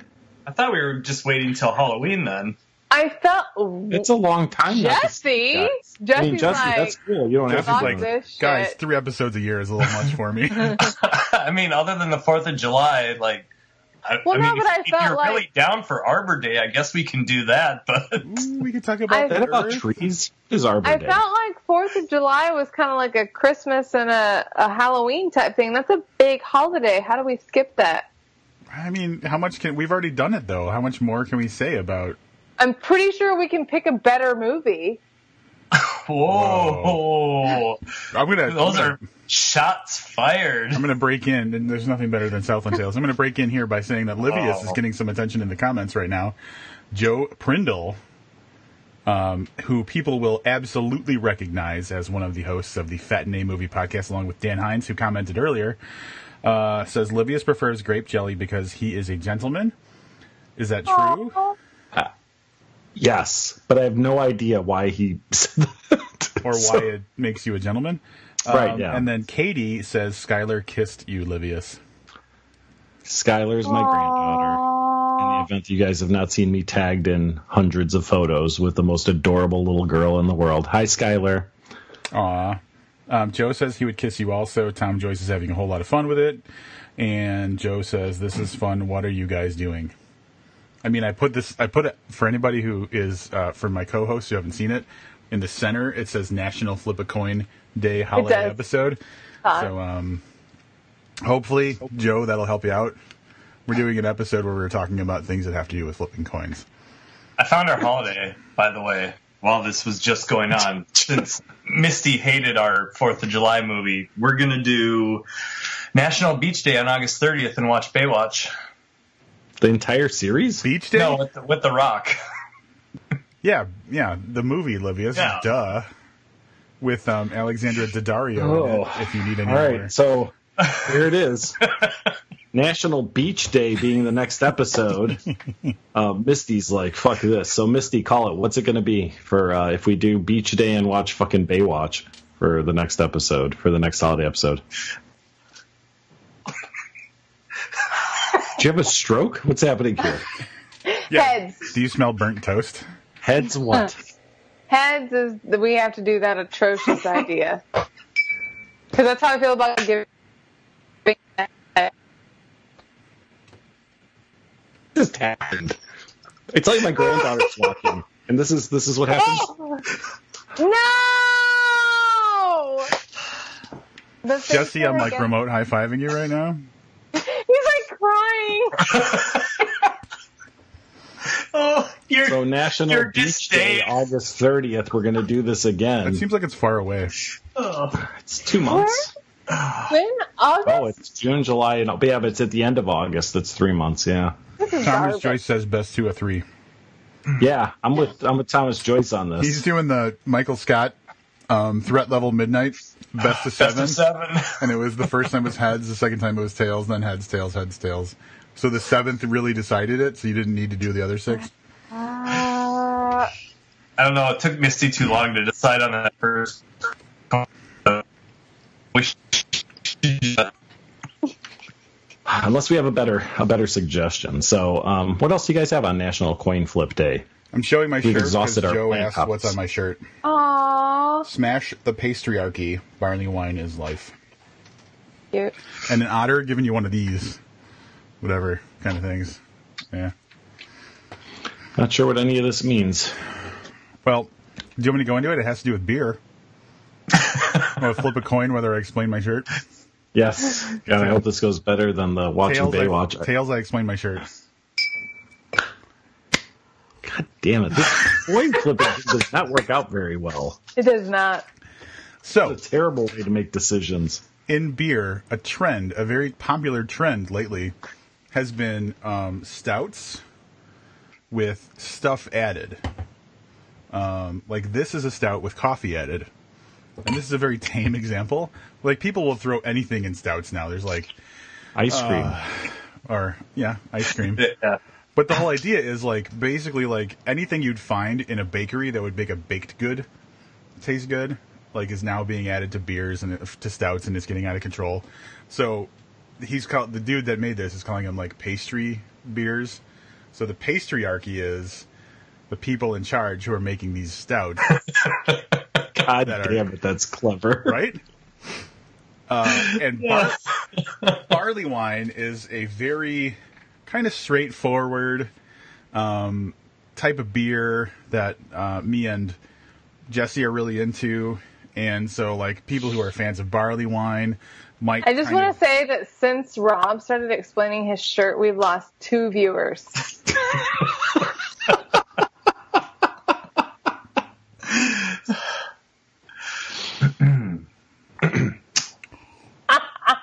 Which two viewers, though? Rob, I please go can't on. see that. So uh, this guy's basically saying that like the whole like stout pastry beer thing is out of control, and barley wines are the way to go. Um, I don't know how the otter got involved or why he's throwing. But out he's one of these very guys, cute. But he's definitely helping out with the overall design of the shirt. Yes. So so that's that. Um, I, I'm I'm sure it's the moms that dropped off because once Rob starts talking about beer, they're like, we don't need to hear this nonsense anymore. So I'm okay with that. Sticking to my guns, Missy. You're not going to back me down. Or you know, it was probably it's probably Livius's granddaughter until Missy started Yeah. swearing and stuff. Um, Joe would like to know what's under Rob's shirt. Um, that only happens. That doesn't happen That only live. happens in private Skype calls. For, We don't for- do that in public. We're gonna make that the hundred dollar a month um, level of our Patreon. Is if you per, if you're if you're subscribing idea. at hundred dollars a month, you get archival footage of Rob on Skype with his shirt off. Patreon.com slash booked. That's Jesse, our tech guy. At hundred bucks a month, I He send you I send that you job. links to my uh, my my newest uh, online persona that I've been posting photos to online. You have an online. Trust me, you don't want that. Livius and I can we we probably shouldn't talk about this, right? I think I talked. Did we talk about it in the last episode? I don't know if you got into the specifics that you and I had a conversation about. No, no, no, no. We didn't. I had said though that I was I was busy. I think I said something about being busy registering my new username on on all the social media platforms. Yeah, So yeah, is that where we're gonna leave that? I think that's where we're gonna We're leave that. Yeah. All right. We could flip a coin about it, but Just I don't want just that so we're not. Hold on. No. Heads, heads. That's where we leave it. All right. I can't tell you how relieved I am right now. I didn't want to be. I just didn't want to be accused of being gross. What was it? Gross to women? Gross about women? Um, saying things about women that are gross, I think, is what it. That was it. Now Yeah. I'm in. No, that make women. Misty feel Jesse, I'll tell you all about it when we get offline. Yeah. I figured. I don't know if I have much else. I mean, so preferred coin for flipping, I have to imagine is the quarter, right? I didn't look this up. I imagine Yeah. a quarter is the preferred. Yeah. So the size, not this size quarter. If anybody realizes this is what I've been flipping all night, and people are like, "Man, his camera's great. He can get a quarter up there." Livius has For got size Trump comparison hands. purposes, quarter, not I feel like the 50 cent piece is probably the, the most ideal size, but it's not such a common coin yeah. that no one just has them in their pocket. This says this is worth forty quarters.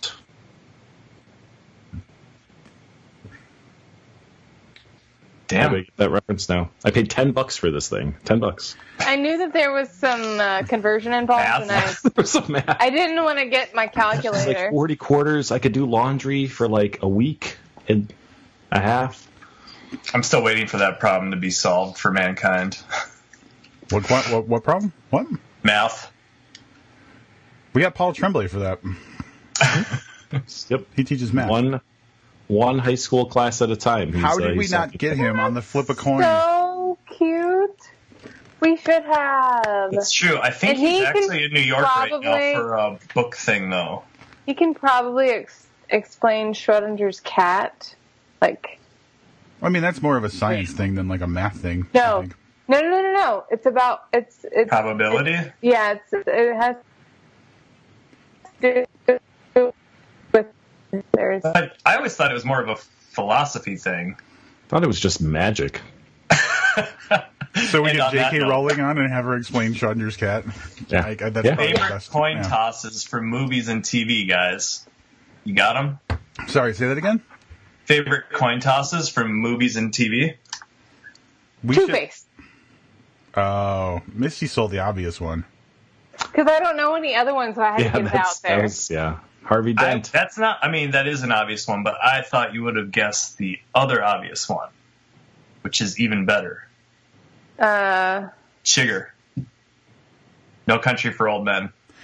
That was gonna be that was gonna be the the deep cut that I went for. If all else failed, that was my backup. The the coin toss scene in the gas station or whatever. I re- yeah, yeah, yeah. Yeah. So what do you got, Livius?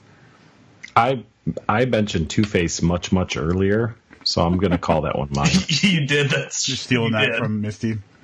well, no, when Misty was talking about making every decision, I I said she's goddamn Harvey Dent. Now oh, I did didn't hear you.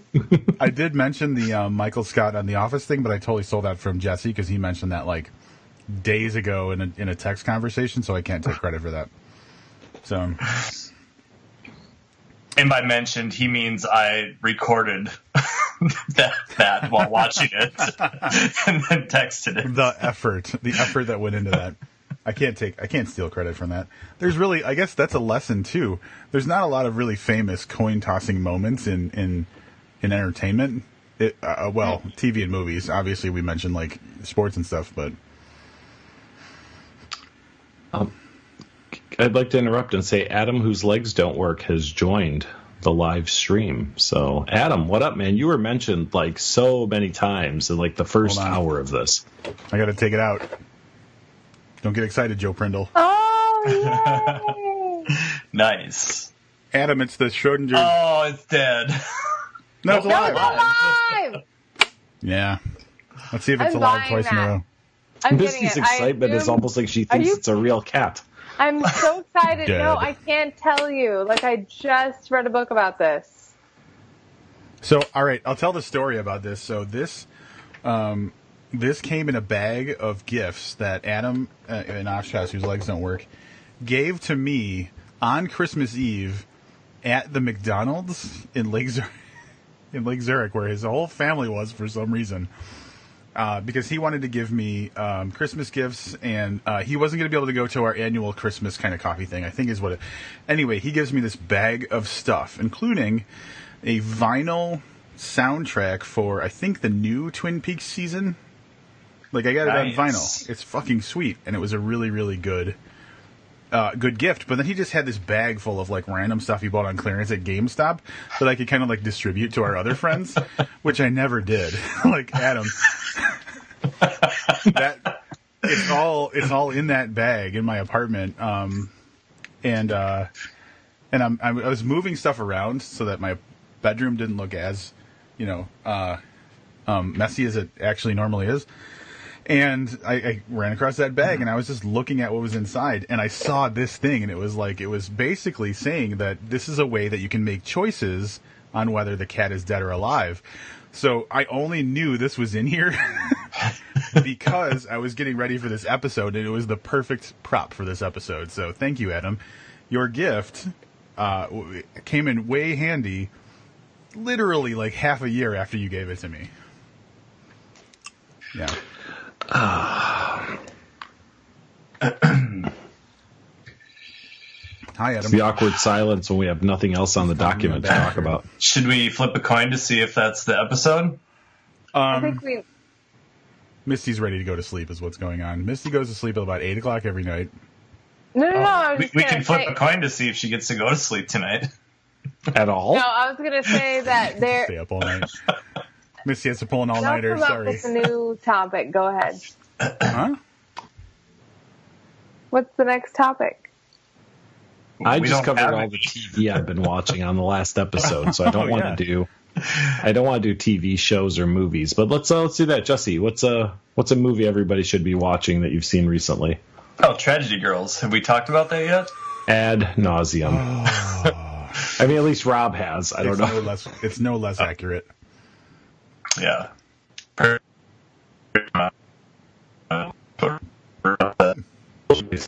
at the 10 minute mark or wherever it was that I was falling asleep and turned it off.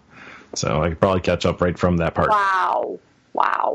Um, okay, well, other than that one, I did finally get around to seeing Thor Ragnarok, and I know Rob has, has stated that he also, me like him, is we're kind of sick, both sick of the comic book thing and the Marvel universe overall. But god damn, that movie was fun. Yeah. That was really good.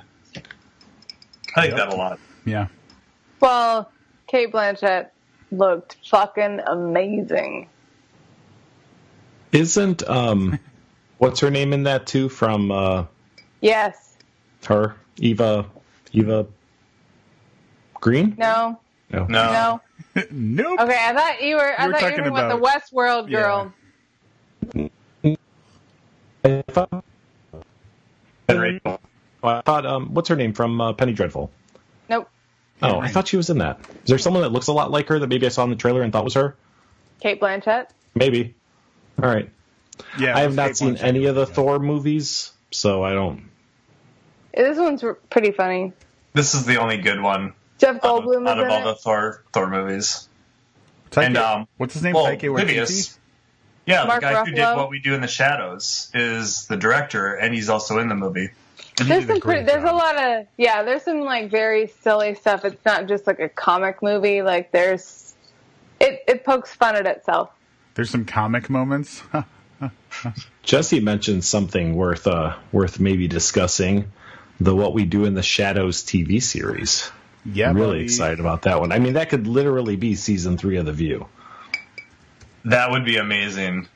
Is there a time on that? I'm on. in- I'm on IMDb right now. Um, The werewolves, they're not swearwolves. oh, it's so good. That whole thing about um, why they always uh, why they always want to want to bite virgins. Brilliant. or when the cops come, like, oh, that's really dangerous. You shouldn't you shouldn't have that there. Misty, have you seen What We Do in the Shadows? It is on my list.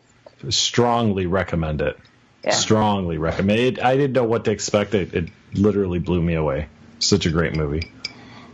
It is a great movie. Um, Yeah, I bought it. I bought it having not seen it, based on Livius's um, like recommendation, and I knew, and like I was worried because he's Romanian. It's a vampire movie.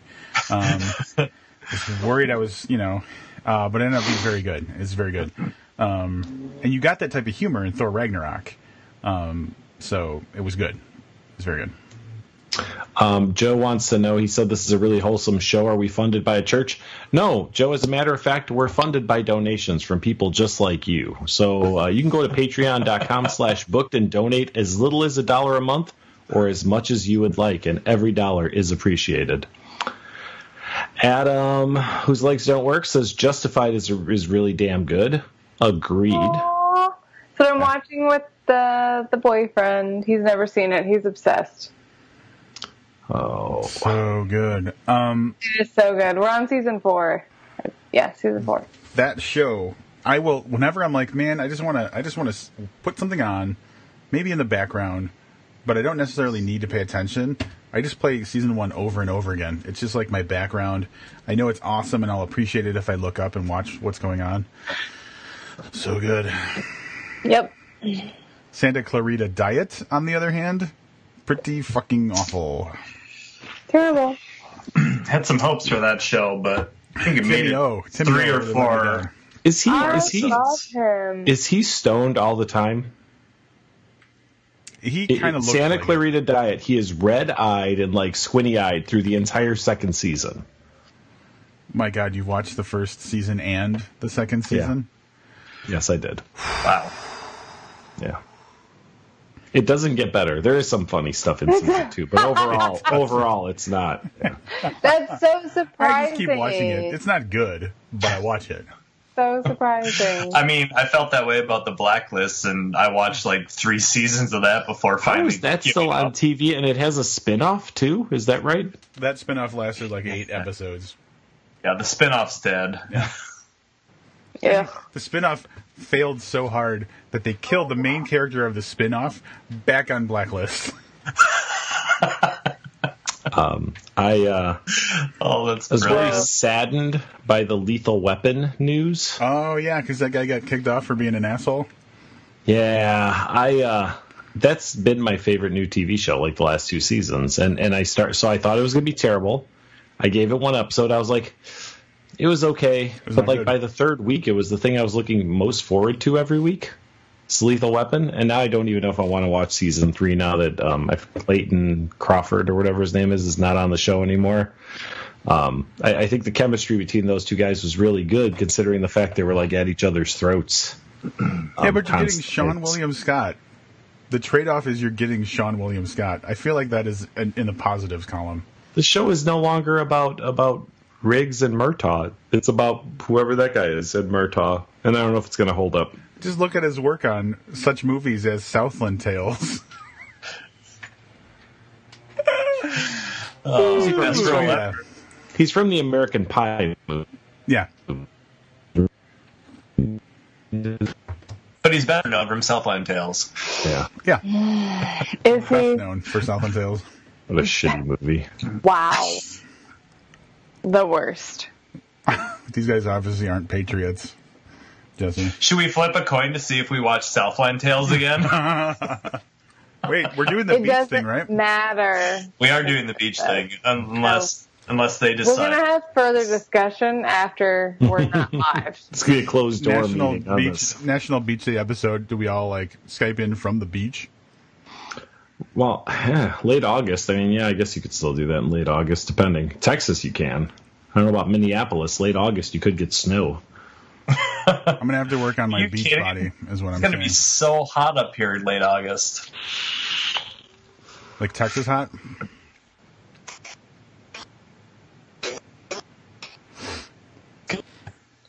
Oh, Misty, what happened there? You okay? Was that a sneeze? Did you manage to block a sneeze? Hey, so did we talk to these two about StokerCon 2019? Um, Where is it? maybe. Where is it? That's in Dallas. No, No. BoucherCon. BoucherCon is in, In Dallas. Michigan. Oh, BoucherCon's in StokerCon Dallas. 2019 is in Michigan. Um, in Like May. the May. Oh man, it's 2019. just a slight drive from Rob's place. No, yeah, it's three. It's less than four hours drive from my apartment to get to where in Michigan this is taking place. They're just pretend to be excited for the fact that we're like live. Oh no, I'll go. Are you gonna go? Yeah, we're locked in. We're going. Oh well, let's do it. I'm down. I'm totally down. Yeah. Yeah, Josh of- Malerman is uh, one of the guests or the guest of Are honor. you serious? Yeah. I am 100. percent I have I mean, I was. Now I'm 110.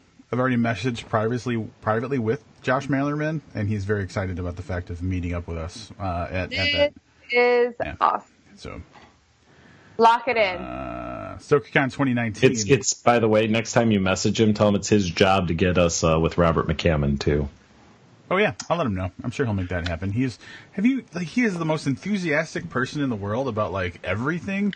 He'll be like Robert McCammon. These guys are the best book reviewers in the universe in the fucking in the history of time. He'll he'll have it. I mean, he's not wrong. he's I mean, right. there were some other book related podcasts out there for a while.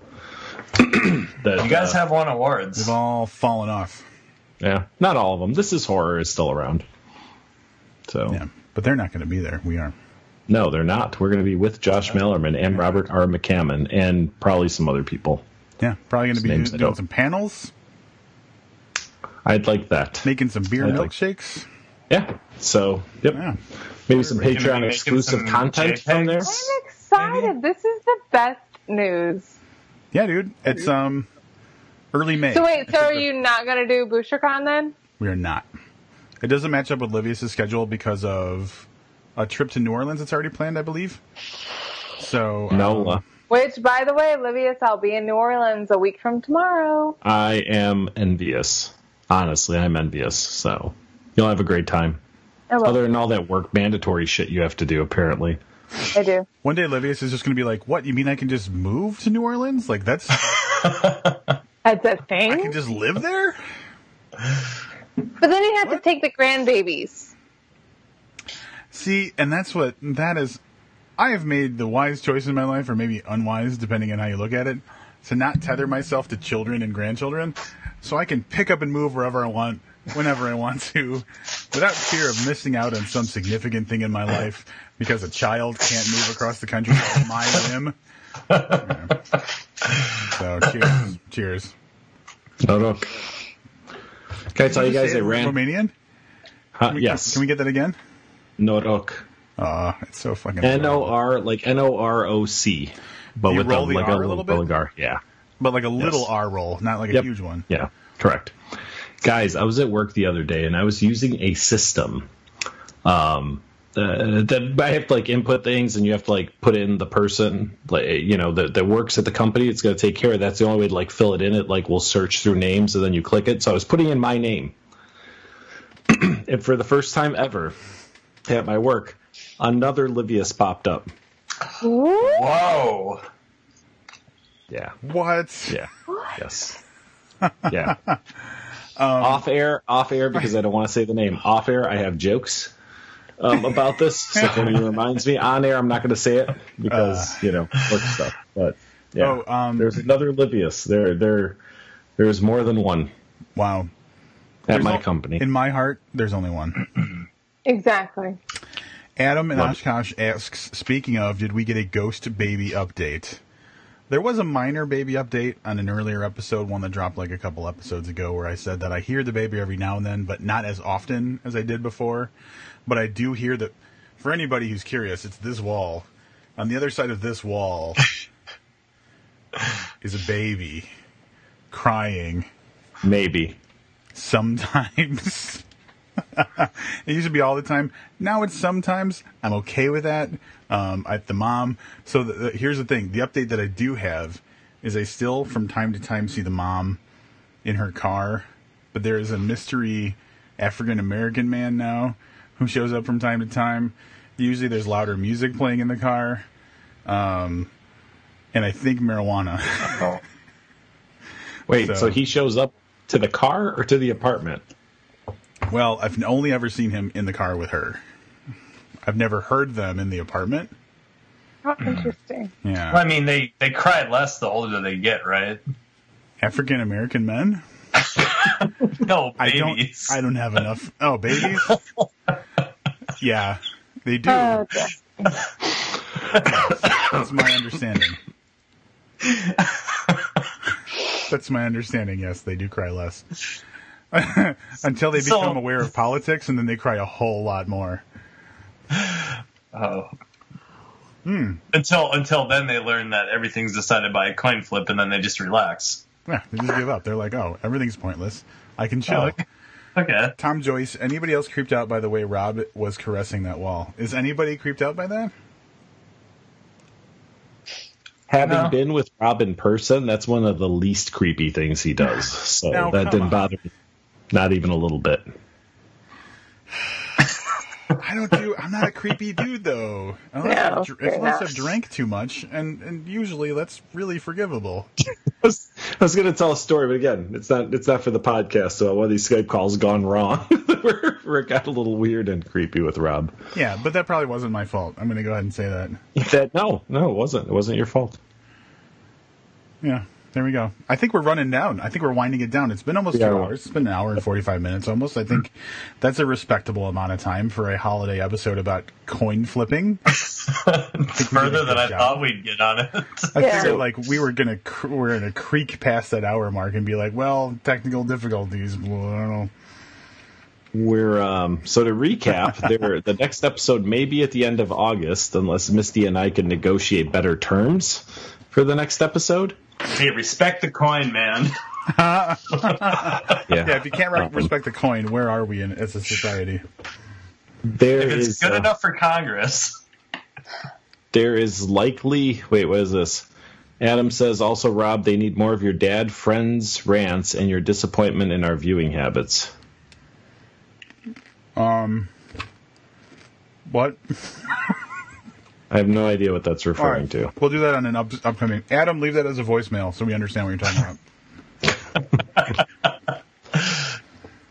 So um, that'll be the next holiday episode. Uh, next episode you'll get from Booked, and it might be a little late because Rob, I don't know if you know what the page count is for the next book that It's we're over reading. 500 uh, over 500 pages. Over 500 pages. It is the president is Oh. missing. by James Patterson, Bill Clinton, swinging Dick Bill Clinton. Yeah. Bill Clinton was. Wait, is that is that a legitimate nickname of his? Um, I have no Dick idea. It is now. All right. That's how, that's the only way I'm going to refer to him on the next episode. So, and uh, we'll be joined in all likelihood by Rob Hart, um, who is also a James Fun. Patterson co-author. So uh, that'll be very cool. Uh, if you want to help support the podcast, patreon.com slash booked. For as little as $1 a month, you will get access to spoiler talk for um, uh, a lot of episodes. We've actually done spoiler talk for like every book for like the last three months, I think now. So, and I can guarantee spoiler talk on this Patterson swinging Dick Bill Clinton book. Can we call him Swinging Dick Patterson as well? if, if only, if only for me to figure out why I'm. Oh, Which one of those two has the the nuts? viewers have just all dropped off. We're down to just us three. Everybody's like, yeah, we're done with this. So, uh, I think Oh, that's it. someone came back. Special guests? Anything? Is there like a weird piece of tape on your headphones, Jesse? Like when you lean forward, there's something that's just catching the top of the. Is On the it top. Up here. No, headphones? no, no, no, Other no, no. Up here, up here, up here. Yeah, yeah, yeah. That. Heh, what do you know? There was. It's like every just every once in a while, I that- catch something like flapping on top of your headphones. Then you put your head back up. Um, That's the block. his anything, headphones Misty, webcam. you want to say before we let you guys go? Uh, no, but thank you as always for having me. I love this stuff. Oh no, no, thank you, Jesse. See if I'm going to say something or not. Heads, I say something. Oh, God damn it. Always a pleasure. Thanks for having me back, guys. Wow, that was real uh, a hardship for you. All right, that's going to wrap it up for our National Flip a Coin Day holiday episode of Booked live on Facebook Live for the first time, and then later on, if you hadn't watched that, um, kind of syndicated to our podcast.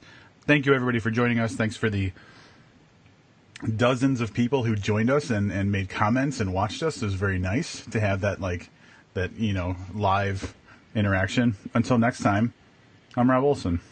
And I'm Livius Ned, and keep reading.